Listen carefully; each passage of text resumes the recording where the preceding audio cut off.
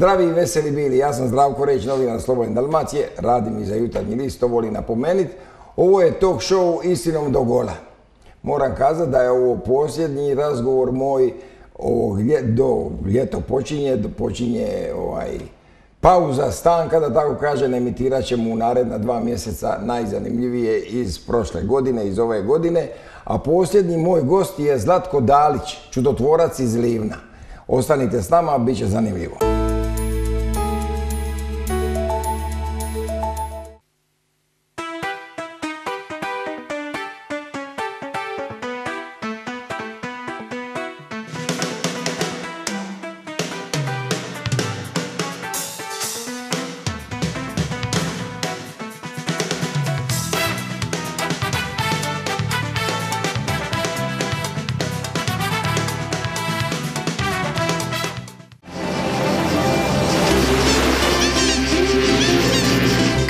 Poželiš more, Adriatic Queen, sardina iz postira,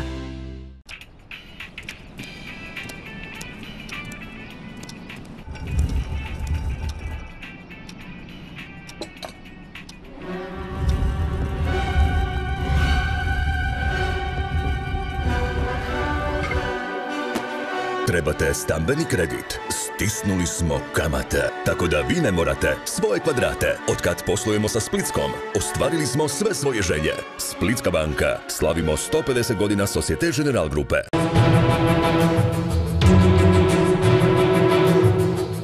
Na mojej tribuni njet nasilje. Na mojoj tribini se bodri i pjeva. Na mojoj tribini nema prekrivenih lica. Na mojoj tribini svi se ponose dresom svoga kluba. Na mojoj tribini nema rasizma i mržnje. Na mojoj tribini vlada tolerancija. Na mojoj tribini nema baktih ni huligana. Solo los verdaderos fans vienen a mi tribuna. To je moja tribina. Na mojoj tribini se podržava i kad se gubi. Na mojoj tribini poštujemo legende. Na mojoj tribini se poštuje protivnik. Na mojoj tribini se navija, a ne mrzi. Na mojoj tribini nema uništavanja. Na koji si ti tribini?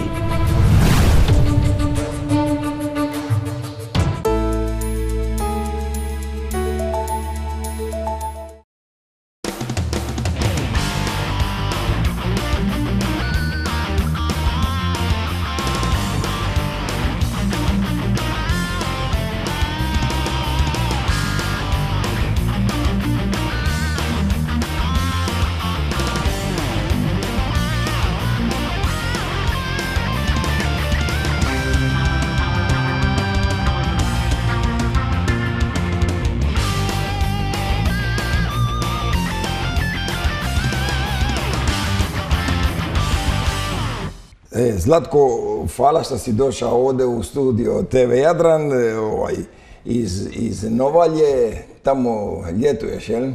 Lijep pozdrav vama i svim vašim gledateljima. Da, evo koristim moj odmor. U Novalji sam i došao Imaš kuću tamo, šta imaš? Imam stan, apartman. Da. Sa mojom familijom sam tamo, odmaram i... Lijepo je u Novalji. Lijepo, zaista lijepo. Da. Čuješ, veliku si karijeru napravio u arapskim zemljama.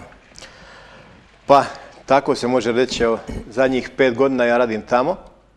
Sam počeo u malom klubu Fejseliju prije pet godina, proveo tamo dvije godine, napravio dobar rezultat.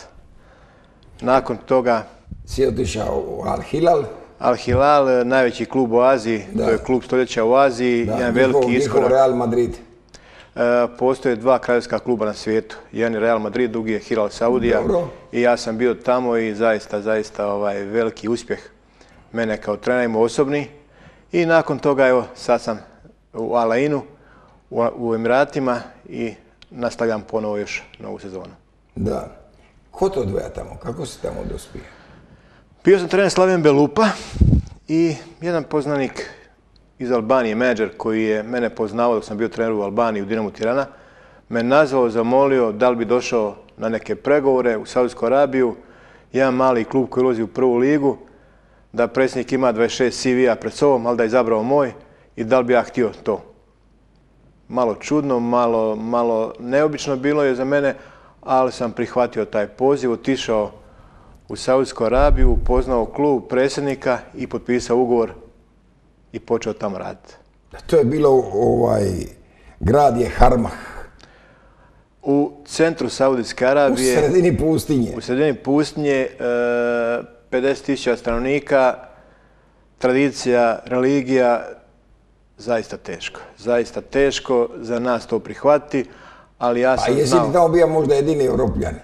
Da, ja i moj stožer smo bili tamo jedini europljani i ja sam znao da je to moja šansa. E, da moram početi od negdje, ako hoću nešto napraviti, ne mogu dobiti posao u velikome klubu, ne mogu dobiti posao gdje bi ja htio i da moram početi. Veliki rizik sam bio prihvatio, ali sam znao ili jesam ili nisam. I hvala Bogu, pokazalo se točnim. Da.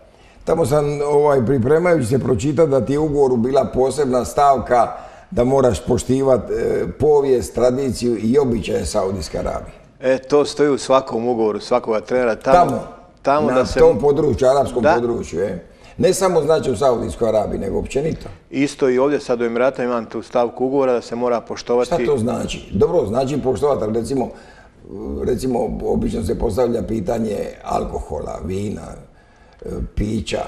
Morate poštovati te stvari, ne u javnosti pogotovo, ne, ne, ne izlagati se takvim stvarima, e, vrijeme Ramazana, poštovati Ramazan, poštovati njihovu tradiciju, religijsku molitvu i to osnovno. Ramazan je, da pojasnimo za one koji ne znaju, da oni kad od svitanja, od svitanja kad se sunce pojavi do navečer ne jedu.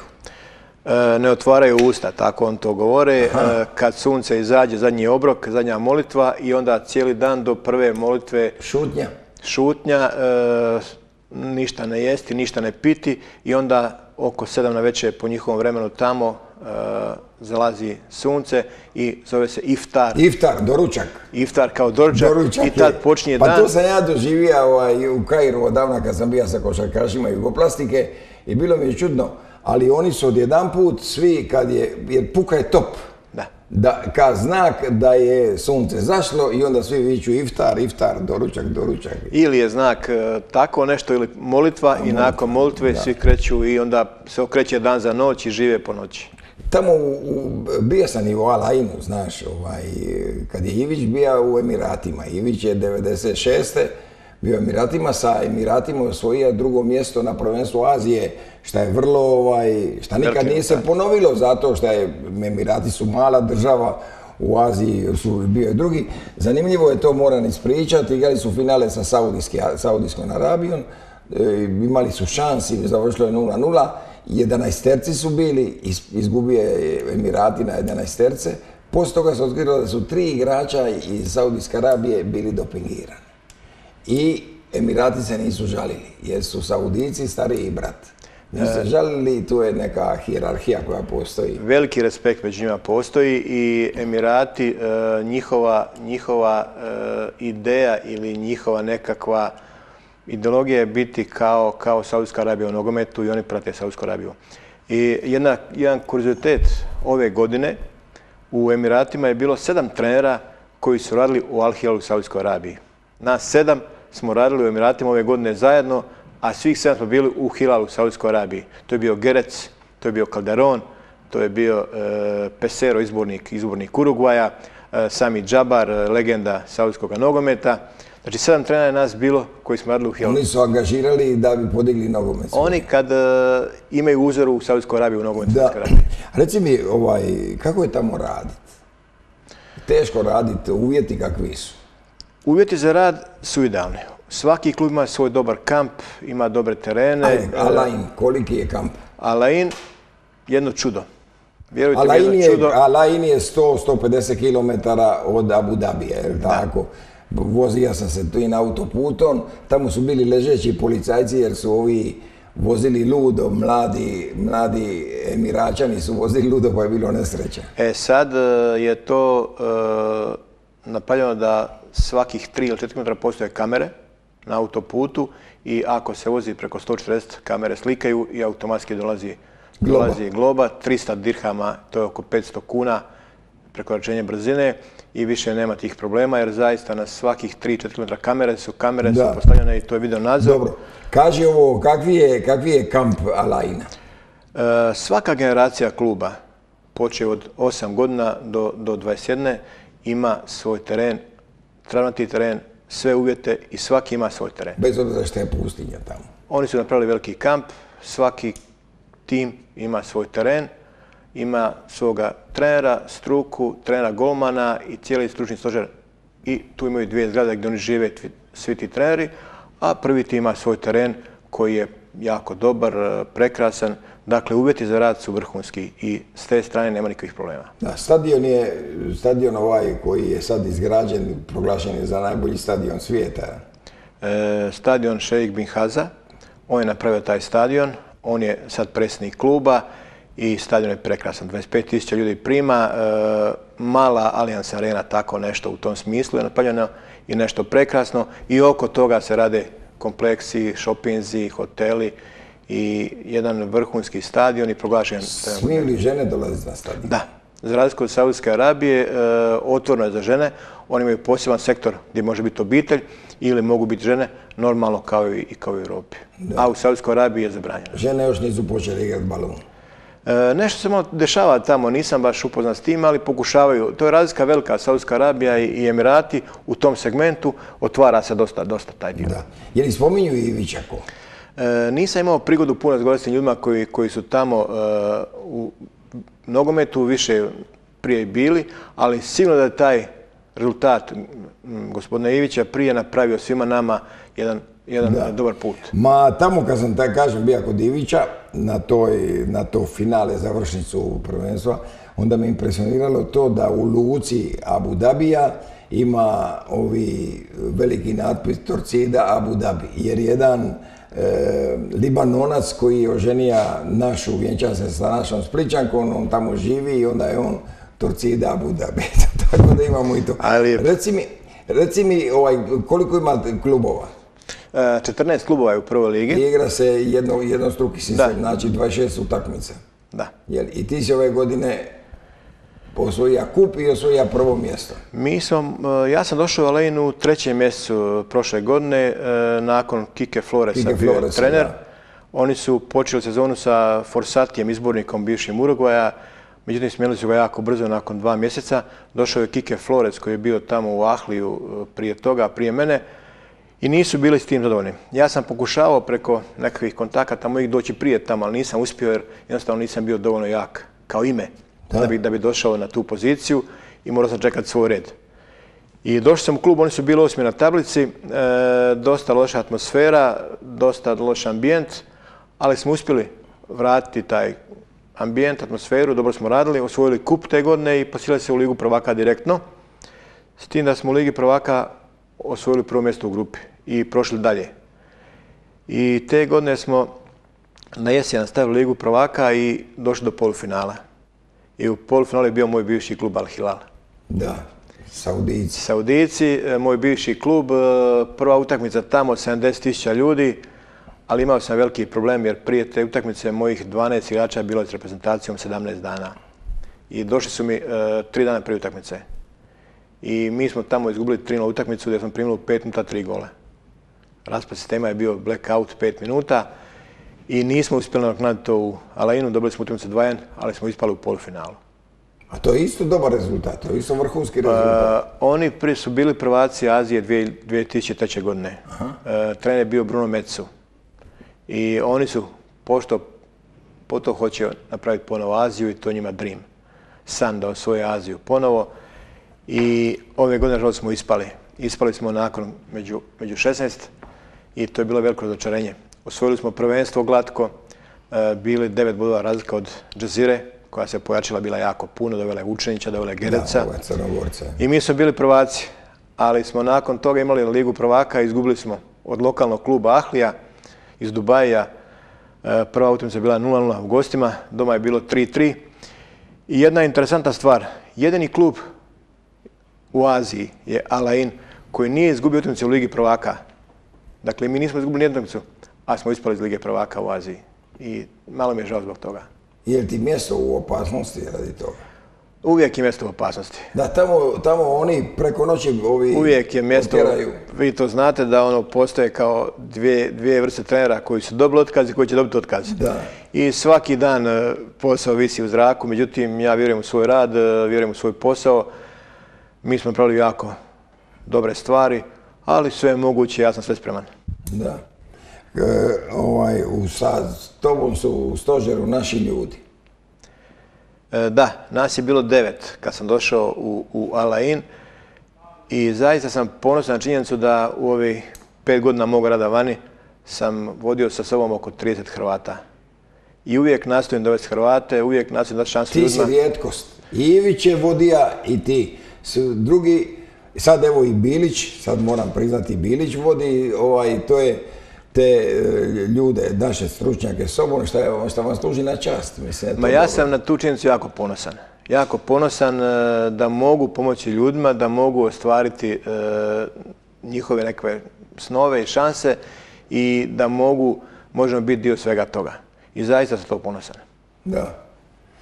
Ko, je ode od Spličana je doktor Rakić. Da, Jure je sa mnom, vrhunski stručnjak, ima iskustva u nogometu i sa mnom je tamo, e, imam tri fizioterapeuta iz Hrvatske, pomoćnog trenera, kondicionalnog trenera.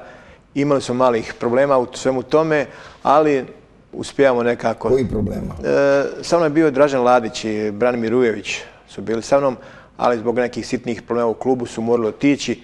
Ne zbog lošega rada, ne zbog nekakvih stvari, nego jednostavno se neka takva situacija okrenula, došli su neki Englezi, i to je ono što vam govorim, uvijek je posao u pitanju, pogotovo u tom arapskom svijetu. Je li ti si bio pomoćnik Dražana Ladića u reprezentaciji U21? Jesi mu to vratio kad si ga uzeo sobom? E, ja sve poštujem, respektiram i cijenim. I zaista ako neko meni u životu pomogne, kad meni treba, ja ću pomoći sto puta više. I vratit ću. Međutim, e, ja sam imao sa Dražanom Ladićem vrlo dobar odnos u reprezentaciji. Naša pogled na nogomet je bio sličan i isti i zbog toga i sam e, ga i pozvao. ali i s druge strane smo bili skupo u mladoj prestaciji i zajedno radili. S tobom je stalno i Boro Perković. Boro Perković je moj livnjak. Moj livnjak i e, čovjek koji je... bivše Intera, je li isto navijač Hajduka? Isto je bio u Hajduku, počeo kao ja. Je, je, I moj, nogi. Moj livnjak i zaista ovaj, e, i na rezultat je on i prvak sa svojom generacijom U21 mlada ekipa, prvak je u Elenu, tako da je on opravdao ono što je sa mnom tamo. Dobro, kad ste tako ti Hajdukovac i, i ovaj, Boro i tako imate nekog utjecaja, ste mogli naći nekoga sponzora za Hajduka, Hajduku treba novaca? Pa gledajte, e, pokušavalo se nešto jest oko toga, neki razgovor je bilo oko toga, međutim, e, tad sam tek bio došao, nije bila moja situacija čista, jasna, e, ne mogu raditi drugi posao, radim svoj posao, pa se bojao isto da neko ne zamjeri meni da ja idem raditi neke druge stvari, a ne moj posao nogometni. Daj Bože da dođe neki šejk pa da kupi Hajduka, to bi bilo jako dobro. Ali e, sad kako idu stvari, da sam ja trener iz Hrvatske, jedini tamo koji sam nešto sad napravio rezultat, onda sad više njih zna za Hrvatsku, zna za našu domovinu, zna za naše klubove, za naš nogomet i bit će sigurno prigode i daj Bože da se tako nešto stvari. Prvi dio smo zaključili, ostanite s nama, brzo se vraćamo u promičbene poruke. Comfort Zone Wellness and Spa Atrium Hotela. Za vaše bolje zdravlje, kondiciju, ljepotu i kvalitetu života. Sa zatvorenim bazenom, finskom saunom i turskom kupelji, knajpom, fitnessom, tretmanima za uljepšavanje i opuštanje, te frizerskim salonom. Pruža vam kompletnu njegu tijela i duha u centru Splita. Nazovite 200 390. Postanite član Comfort Zone Wellness and Spa centra Atrium Hotela.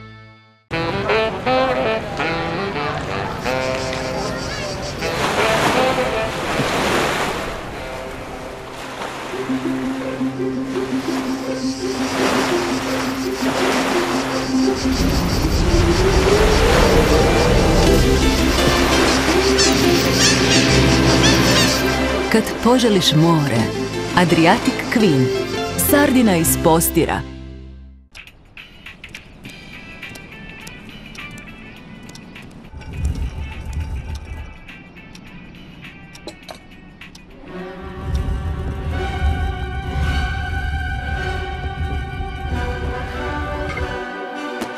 Trebate stambeni kredit?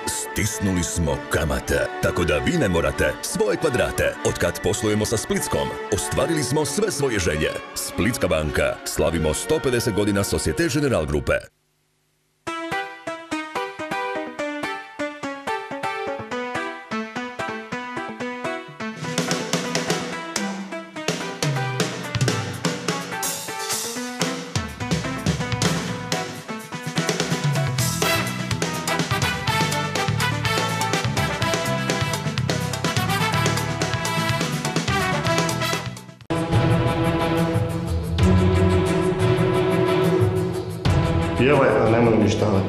Respeito e não discriminação. Pokreni atmosferu, a ne bakljadu. Obuci dres, a nemoj se skrivati. Pojte, a ne uništažajte. Voli svoje, a cijeni tuđe. Navijaj, a ne mrzi.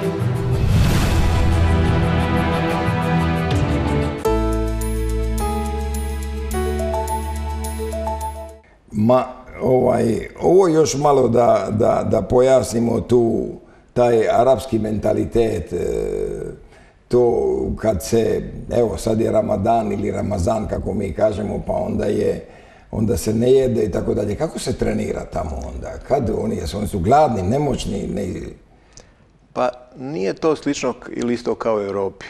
U Europi se mora raditi tijekom dana i to poštovati. Međutim, kod njih sve se okrene u, u, u drugom smjeru. Se obrne dan za noć. Oni imaju u 5 sati ujutro molitvu, jedu, idu spavati. I ustaju u 5-6 popodne.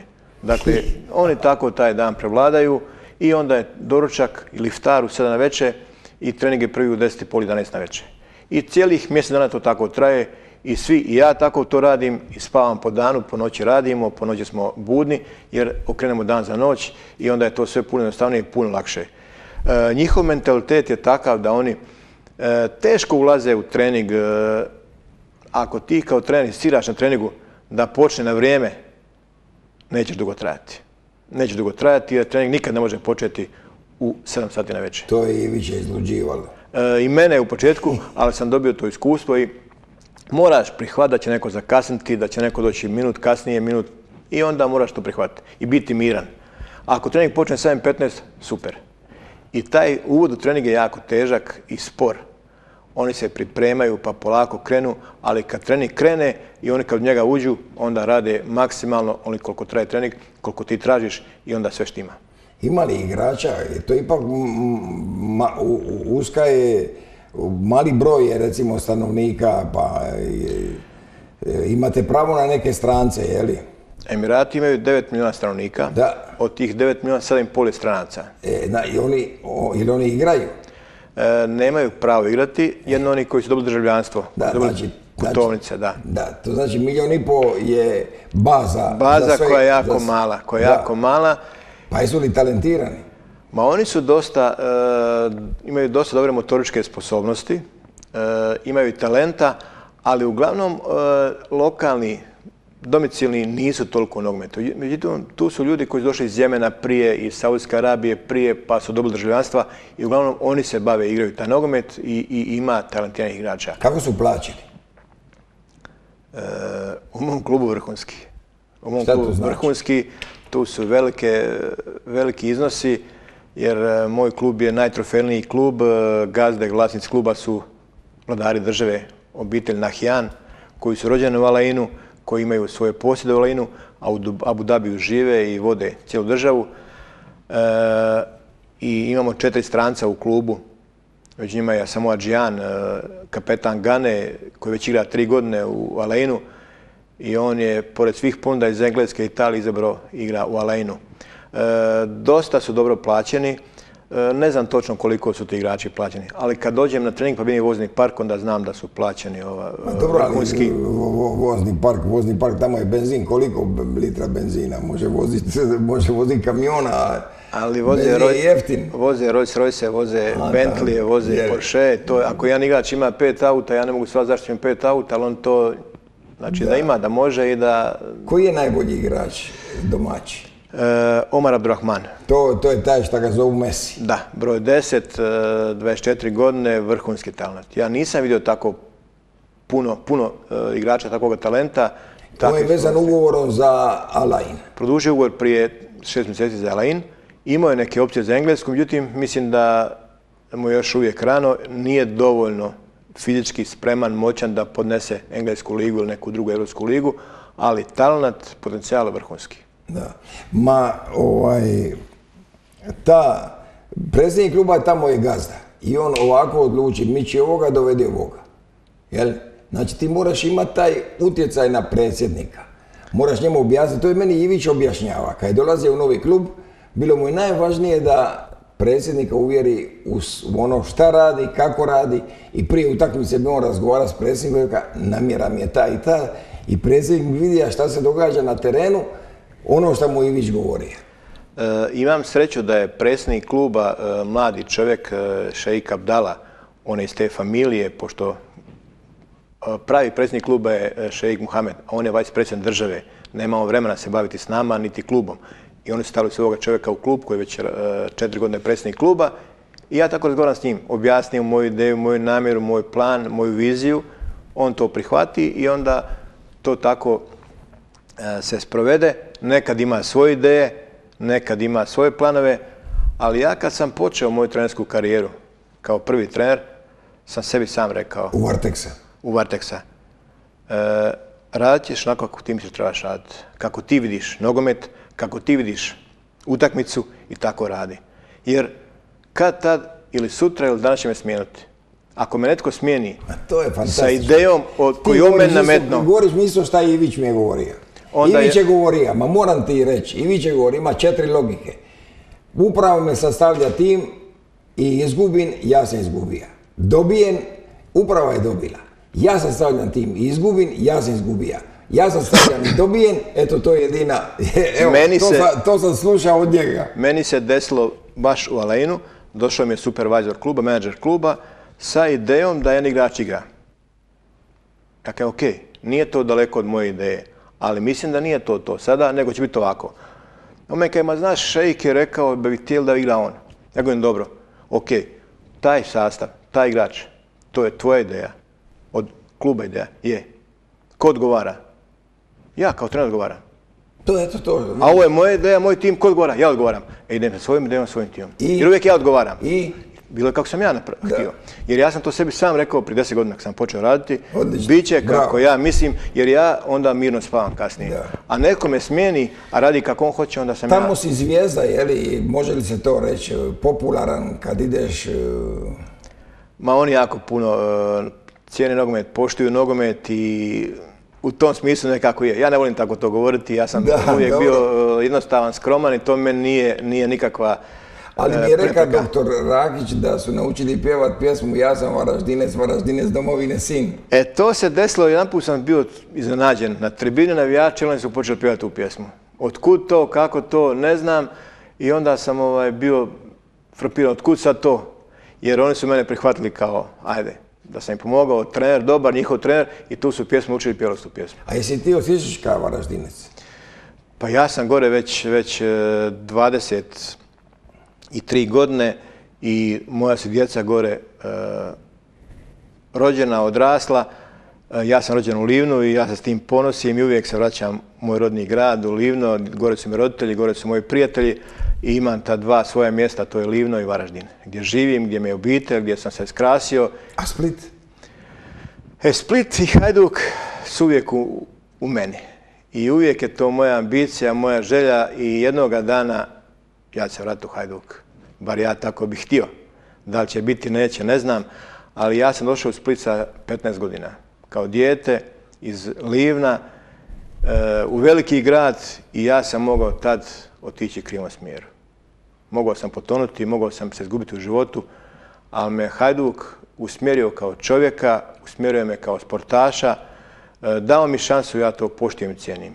I zbog toga e, jednoga dana, ako Bog da, bi došao tu da ponovo sjetim tu atmosferu, ambijent, torcidu, navijače i, i ovaj klub i ako bude sreće i vremena... Kako kažu rap, inšala? Inšala. U Boži rukama. Inšala, inšala znači ako Bog da. Ako Bog da je. Ma, to, to, to što je tebe tako usmjerilo, postavilo, podučilo, odgojilo, velike su zasluge trenera Krešića. E, Jeste, on je bio moj trener i mi smo bili, mi smo bili tad eh, prvaci Jugoslavije sa njim, 85. Ja godine. momčad. Uh, momčad, znam, gotovo na pamet. Mrduljaš. Mrdulja Štafra su bili vrtari, njih dva su bili te. Ja i Jarni su bili bekovi, lijevi i desni bek. bio je Vladislavić, bio je Štimac, Andrijašević. Vlado, Andrijašević, Štimac. Je. Bio je Miša u veznom redu, bio je Lalić, bio je Šerić. Lalić, ovi iz Patkovaca koji je govorili da je, da je novi Maradona, jel? Ma imali smo strašnu ekipu Milanko, i Milanko bio vezni igrač. I Galić. Je, bila je ekipa strašna, zasluge tadašnjeg trenera gospodina Krešića, zasluge e, nekako sad kad gledam ja svoju karijeru, e, tri čovjeka su meni puno pomogla i usmjerila me. E, prvi je Šiostanko Poklepović. Jer on me 83. godine doveo u Hajduk, e, bio sam kod njega na probi, vodio me godinu dana i puno stvari je meni ostalo od tada. Bravo, hvala Puno stvari je... Jer, jer ja kažem, Ivić i Poklepović su e, e, kardinali hrvatskog nogometa. Ono što radim ja sad kao trener, sam slušao, radio sa Šiostankom 83. 84. godine i kasnije sam bio skupa s njim u Titogradu pola godine i on je bio taj koji je mene kanalizirao, usmjerio kao prvi i, i zaista veliko hvala Šiostanku za svemu tome i poštujem ga, respektiram ga kao trenera. Žao mi je da je ovako završila sezona ovo zadnje. Ma nije on tu kriv, nije tu Ni malo, kriv. ali to je ta splet okolnost. Ma, ma nije ali, u ajde, reci mi to do kraja. Znači, ovi, Poklepović, tri čovjeka si rekao. E, drugi je bio Branko Ivanković kad sam došao u Varaždin. Tako je. Pet godina sam radio sa njime i on me je natjerao da upišem trenersku školu.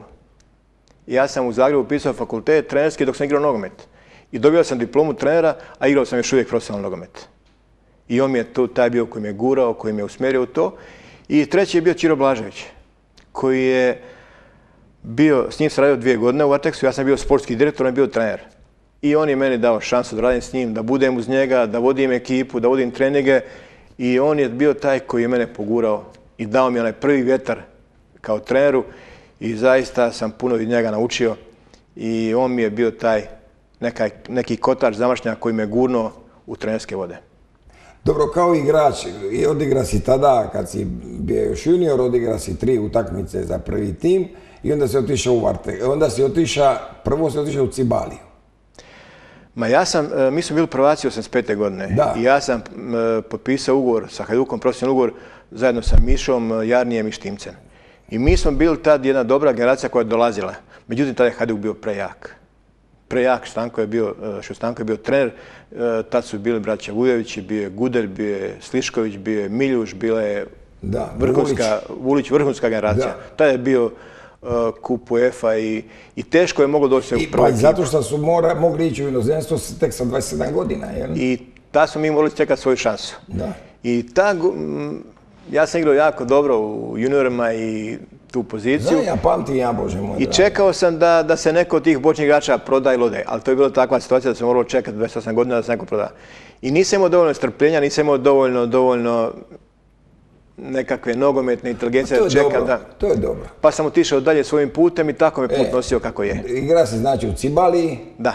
igra si u, u, u, u Veležu, u budućnosti i onda si došao u Varteks. U Varteks, da. I tu si se skrasija, jel? E, u tom dijelu, 92. godine sam došao u Varteks. Nakon e, početka rata sam se vratio u Livno i bio sam u Hajduku, sam bio tada. O, Šostanko me zvao, dođi kod nas, on je bio tad trener. I tad je Hajduk otišao u Australiju, mislim na neke turneju, ja sam ostao tu trenirati. I nešto nije posložilo kako se trebalo posložiti. Nisam vidio da, da je baš će biti dobro za mene. I pokojni Anđelko Hirac me zvao u Varaždin. Zvao me, bio je uporan i ja sam otišao tamo i nisam je pogriješio. bio čudo. A? Kad govorim ova tri čovjeka, to su tri čovjeka koja su meni omogućila puno u nogometu, kao treneru. Ali Anđelko mi je dao šansu, doveo me tamo, omogućio mi je sve da budem e, u Varteksu. Velika stvar za igrača ili za trenera je da radi, e, ja sam igrao nogomet do svoje 34. godine. I ja sam danas prestao igrati nogomet, sutra me je gospodin nažalost pokojni instalirao za pomoćnika u prvu ekipu. Da. I to je ono što je bilo velika, velika prevaga i nikad to ne mogu zaboraviti. Kako zaista, je bio genijalac. taj čovjek je bio preteča svega toga i nažalost, ovo što se desilo. E, te, to, iz, iz toga vremena kad si igra za, za ovoga e, Varteksa, ja sam prije o- ovaj mjesec razgovarao sam u Grinecom, početkom mjeseca kad je on završio karijeru, isto ovako naš razgovor, pa smo se dotakli one utakmice u Zagrebu sa Kroacijom, Kroacija, Varteks 3-4, vi ste poveli 3-0, onda su bili 11 terci, niste mogli biti prvi, niste smjeli biti prvi. To je bilo 96. godine, trener je bio Luka Bonačić Je. i mi smo imali najbolji momčad. Momčad balansirano koja je radila pet godina sa Branko Ivankovićem, došao je Luka, je kakav je, dao je nama ono što je trebalo dati da. i mi smo bili e, kandidat za prvaka. I to je bilo tri kola prije kraja utakmice u Zagrebu. Odlučivalo je, ako mi izgubimo gotove naše šanse. I došli smo u Zagreb, rastarećeni i mi smo vodili 3 nakon jako brzo. Prvo poluvreme, 41 minuta. E, I bila je fantazija od našega nogometa. Igrali smo i protiv svega smo igrali. Igrali se, tad smo mi znali reći, tada je bila ona emisija slikom na sliku, da smo igrali do slikom na sliku, samo do, do te emisije, jer igralo se 100 minuta. Željko Širić trener, o, sudac. I mi smo tu utakmicu dobili 4-3, fantastična utakmica. 2.11 terca je svira, 3.11, 2.11 terca svira, Mrmić obranio jedan. Branio jedan, drugi da je Stanović dao, mislim da je to E. bilo to. I tad je igrao Uga i to je ta naša bila generacija, fantastična generacija Varteksa.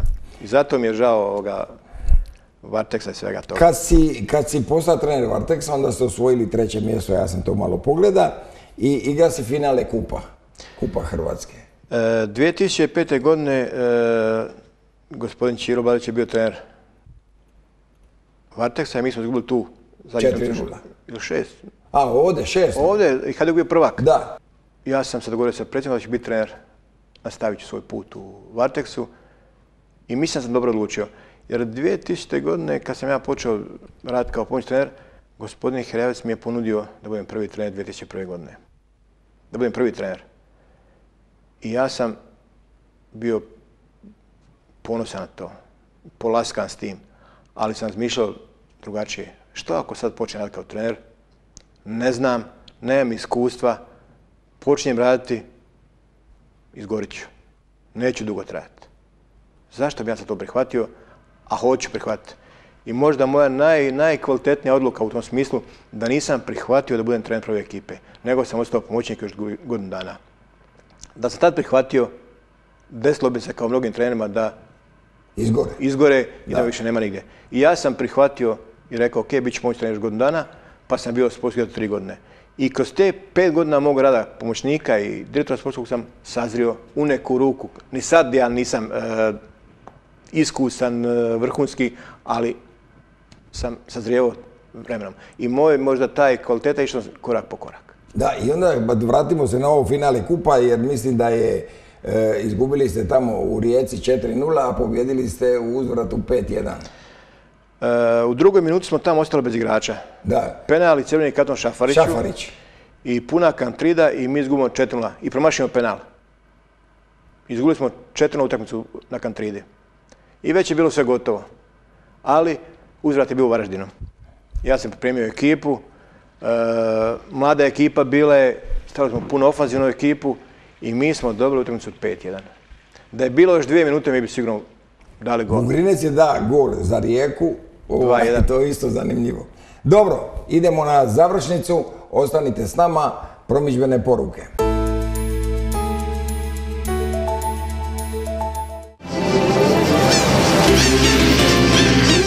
Kad poželiš more, Adriatic Queen. Od sada i Adriatic Queen paštete. Sardina iz postira.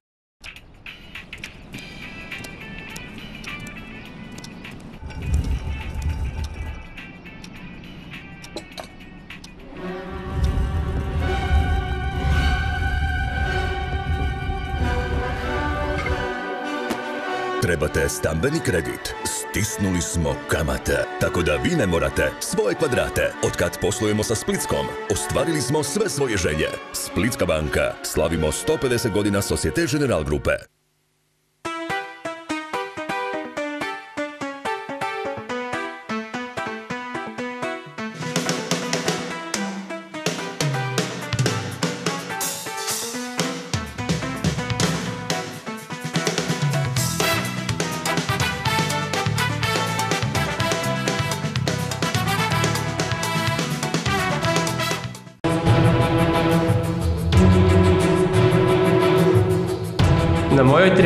Nema nasilja.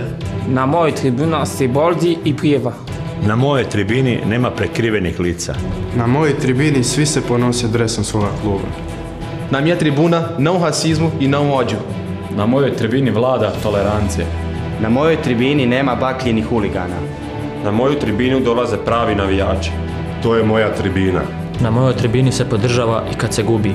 Na mojoj tribini poštujemo legende. Na mojoj tribini se poštuje protivnik. Navije, a ne mrzi. Na tribunan time nu kaškat rime. To je moja tribina.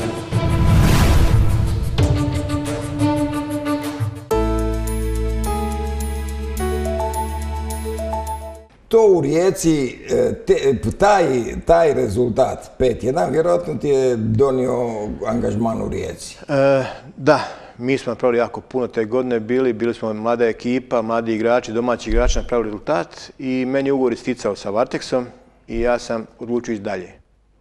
Mislim da je bilo vrijeme da idem dalje, bolji klub, ambiciozniji klub i pojavila se Rijeka, gospodin Jerić me zvao u Rijeku i dao mi otvorene ruke da budem direktor sportski, da budem kao menadžer kluba. Engleski, engleski tip. Da, e. da. I mi smo napravili sjajan prelazak rok. Doveli smo 6-7 vrhunskih igrača od Đalovića, e, Filipa Marčića, Škore. I u tom smo prelazak roku potrošili samo 150.000 eura. Jer smo platili Šafarića Varteksu i ništa drugo. Svi su igrači došli gratis. E, zatekao sam Šarbinija i Pamića e, da ih je klub otpisao. Treneri prije mene su nešto vidjeli njima, ali su rekli nije to to i mogu ići na posudbu. A sam rekao neka, da vidim ja to što, čemu se radi, koji su igrači. Ja sam nakon par treninga vidio da Šarbini je vrhunski igrač, da je Pamić, Manuel dobar igrač i ja sam ih ostavio u Rijeci i onda su oni napravili karijeru i dali jako puno tom klubu. I prelijepa godinu dana u Rijeci. Je li baš? E, prelijepa godinu dana. Zadnjih, zadnjih par dana je bilo jako, jako loše. E, I tada... Optuživali su te da uzimaš pinku od transfera. I tada pamtim utakmicu Rijeka Hajduk 4 meni jedna od najdražih utakmica kad sam kao treneru, dobili smo 4-0 i onda se desilo ovo što vi sad govorite. I ja sam to pojasniti, jer hoću to pojasniti, jer nakon toga sam ja otišao jednu medijsku izolaciju. Nisam htio više uopće da se bavim bilo s čime, jer sam vidio kako krene hajka na tebe i da te, da te pokopaju. Mi smo 31. su bili prvaci, e, drugi na tablici. Drugi, da. Imali vrhunsku momčad. E, doveo sam vrhunskih igrača za nula kuna. E, afirmirao Pamića, afirmirao Šarbinija. Brat je Šarbinija, da. I pola godine smo igrali vrhunski nogomet. Puna kantrida i radilo se o Manuelu Pamiću. Igrao je vrhunski nogomet i ja sam dobio poziv iz Salzburga od moga prijatelja koji je iz Livna, Kurbaša, koji je bio scout, da ga prati Salzburg. Lijevi bek, mi ga hoćemo, prati ga. I pola godine su ga pratili. I ja sam rekao ovom predsjedniku, imam klub koji prati Pamića. Ok, super, dobro. I nakon pola godine se te stvari počele kotrljati. što je- se, Da, i mi smo dobili ponudu od Salzburga. Ta ponuda je bila milion eura za Rijeku.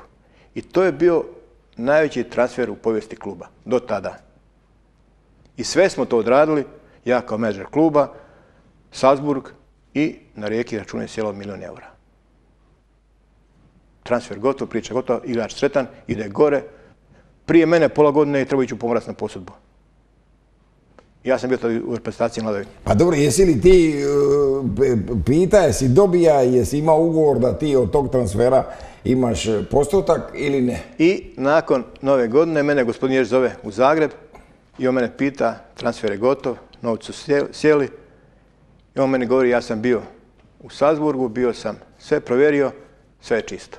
Pa ja govorim, pa čisto je, kako neće biti čisto, milion eura je rijeke stiglo. Kaže on meni, koliko trajaš nagradu za to? Ti si menadžer kluba. Ja sam ostao iznenađen. Kakvu nagradu? Ti si menadžer kluba, ti si ga stvorio, ti si ga firmirao, ti si ga napravio, ti si ga prodao. Čini se logično. Koliko tražiš? Ja sam ostao paf. Jer nisam u tom tijeku, nemam pojma o tome, ne bavim se s time. On kad meni dobiš 5%. Napraćem ugovor, aneks, ti si menadžer kluba, za svaku upravu imaš 5%. I možda moja greška, jer sam naivan, pošten, i ja sam to kasnije izjavio, ja sam dobio to. Da, meni je Rijeka platila 5%, aneks, ja sam platio porez, platio PDV na te novce i ja sam te novce dobio. I to počela hajka. I onda hajka je krenula nakon toga kad su neki ljudi se tome nisu našli kako su trebali naći u tome, pa kako bi se našli u tome ako nisi ništa napravio u tome? Pa ja sam napravio posao, napravio igrača, Diga- stvorio ga, diga je hajku Cvjetković, menadžer koji je bio kao menadžer Pamića. neću ja to komentirati, Dobro. e, ali sam hoću pojasniti. Ja sam dobio te novce. Ja sam to javno izjavio, nisam krio, nisam lagao, ja sam dobio to, Rijeka me nagradila s tim. Bližimo se kraju, vratimo se na Hajduka jer to mene zanima i, čita, i gledatelje, ne čitatelje, gledatelje zanima. Ovaj, ti si razgovarao s Brbićem da dođeš u Hajduka poslije Andersona. Da, to je bilo prije godinu i pol dana u zimu. E, gospodin Brbić me zvao, ja sam bio strašno počašćen tim pozivom, Hajduk, ali ja sam imao druge ambicije, druge planove. Čekao sam poziv iz Emirata, čekao sam klub i u ovom trenutku ja nisam bio spreman prihvatiti e, funkciju direktora sportskoga. Ja sam još uvijek trener i to je moj posao, to je moja ambicija i ja sam se vidio u tom pozivu. A nisam htio doći tu i biti nekome pretnja da ću ja biti trener, jer to nije dobro, to nije logičan put. Ja ako sam direktor, sam direktor kluba sportski i vodim sportsku politiku, a ne da nekom prijetim kao trener, a ja hoću biti trener. I onda nisam imao e, dovoljno odluke da budem direktor sportski, nego sam još uvijek htio biti trener i tako je ta naša priča završila. Ovo Hajduk kako mijenja trener i kako se ovo događa, kako ti gledaš izvana na to kao Hajdukovac? Mislim da Hajduk mora napraviti jednu stvar, a to je napraviti strategiju. Misliš da nemaju strategije? Pa ne može biti strategija ako se puno igrača mijenja. Ako sad prodajemo mlade, sad prodajemo stare, sad prodajemo ove, sad prodajemo one. Ali to je e, zbog situacije kako je, nažalost, zbog neimaštine, zbog e, nedostatka novaca se prodaju igrači. Hajduk je bio Hajduk kad je imao u vrijeme gospodina Ivića devet igrača. Dobro, ali onda ponovit ćemo ono do 27. godine je ovaj e, do 27. godine je, su igrači morali je, ostati ali kupujte da bude pojačanje, kupujte dva, tri igrača, e, da budu... Tvoje riječi, ja o tome sam pisao mali milion puta. Nema prinova nego pojačanje. Čemu, čemu kupanje, e, da neko ne uvrijedim, neću gotovo imenima, neki igrača iz Austrije, čemu dođe njih u Hajduk? Pa Hajduk mora dovesti najbolje igrače, što je bio Sliško, što je bio Oblak, što je bio ne, Holcer. To je strategija Hajduka, to je Hajduk. I dati šansu, jer to je bazen... Hajduk više nije meka. Prije je Hajduk bija meka s tim rezultatima pa su svi došli. Sad se događalo, na primjer, da je Maleš koji je junior Hajduka pa je otišao u Zagreba, u Dinama, pa ga je Tudor zva da se vrati u Hajduku, a reka ne, idem u Rijeku. Jeli, tu je sad postala jedna, ovaj, to, je, to je loše. Rijeka plaća više i igrači... relativno je to, nego ovdje se recimo, ovdje se previše mijenja trenere. Sad je došao ovaj Damir Burić, znaš li Damira Burića? Damira znam još od mojih igračkih dana u Hajduku i bili smo se družili, nekom smo kontaktu ostali, ali ne baš prevelikome i ja vjerujem jako Damiru Buriću, zato što je profesionalac i ima put sličan mom putu. Otišao u Njemačku sam, sam se borio 30 godina, sam je stekao nešto, napravio i ja vjerujem u njega, u njegov rad i da će napraviti uspjeh, ali on, ono što treba, treba vremena. Ne može on sutra biti najbolji. Ne, treba vremena, ali treba da Hajduk ima dosljednu strategiju. Ovo što su sad recimo napravili kad su doveli neke mlade igrače, skupili mlade igrače, sad to treba izdržati. Oni sad ovu ekipu koju imaju, ok, mi to ekipi vjerujemo, ali to su mladi igrači, dajte im šansu. Ove prvenstvo, pa ne morate ga osvojiti. Pa ne, pa budu peti. Pa ne budu peti, ali da zna put. Ali taj put moraju pratiti svi i davati u javnost, to je to, to je cilj, to je cilj. A ne do opet do velike gospe i opet ništa ne Da, do velike gospe. Nego moraju ovu sad generaciju istrpiti, isforsirati, pokušati naći da li su sad naši, ne znam, dva, tri sa strane igrača koji će donijeti još iskustvo, kvalitetu i gurati. I to je jedni put Hajduka. I još jedan veliki Hajdukov problem, što je nogometna škola pala na niske grane. Pala na niske grane, ako, ako, ako Dinamo ima duplo više bodova u prvenstvu kadeta od Hajduka, ako jedna Cibalija ispred, bez pocjenjivanja Cibalije, ispred Hajduka, onda je to, onda je to jako loše i mislim da tu, tu isto treba napraviti korijenite promjene. Pa sigurno jer uvijek je u Hajduku bilo talenta igrača koji su, koji su dolazili i iz Bosne, iz Hercegovine i okolnih mjesta i e, pravili su veliku razliku. I... Kao ti iz Livna. Bilo nas je dosta tako, ali to je, to je put, to je strategija, svi mi gravitiramo ima igrača iz Livna, Matijanića i Barića, e, Čeku. Puno, puno tih ljudi koji je bilo tu, ali Matijanić je možda bio pa Čeko koji je isto napravio ovako puno. Je, Jer tad u to vrijeme je trener uh, Troglova... Hozo. Jedan je, Hozo, je, je, točno. Mm. Tad u to vrijeme je bio trener uh, moga Troglava, je bio uh, Vladimir Bera pokojni. Da. On je me prevučio tu. I to je bila ta veza iz Pona i to je trajala. E, Zlatko, hvala ti na ovom gostovanju. Držim da je bilo vrlo poučno. Da si znao objasniti svoje motive i svoj put. Ja ti čestitam. Ma, hvala lijepo na pozivu. E, ma evo samo možda kratki osvrt na nas trenere, na naše karijere. E, mi smo sve krivi. Ako padne dva dana kiša ili snijeg, smijenimo trenera. I to nije put. Jer uprave klubova ili ljudi koji vode klubove kupe si vrijeme smjenom trenera. Je. Ma to nije put. Je. Čovjek mora biti šansu da radi svoj i onda mu reci jedi ili nije. A ne da ga smjenjuješ, da ga mijenjaš i onda nema toga ništa. Jer to nije, nije način, to nije e, put koji će dati nešto dobroga nogometu. Tako je, sve to, sve sam to, da se pohvalim, sve sam to napisao mali milijun puta i rekao sam, toliko ste puta promijenili trenere, kad ćete vi ići? Ali... Evo, neko je iduća, ako bilaju krive trenere i ako mijenjaju neki iduća... Pa znači, netko je toga trenera izabrao, doveo ga. Evo, s ovim završavam, pardon što sam tu pa, zahvaljujem Daliću, zahvaljujem mu na ovom razgovoru, zahvaljujem što je iz Novalje došao u Split da bude moj gost. To se rijetko događa da mi tako ljudi izlaze u susret, ali izlaze. Prema tome želim ti svako dobro i da jednog dana dođeš u Hajduka. Evo, Hvala lijepo i nadam se da, to doživim. Nadam se da sljedeća emisija bude mene i vas u tom, u tom, Drago mi. u tom kontekstu. Zdravi i veseli bili, vidimo se sljedeću srijedu.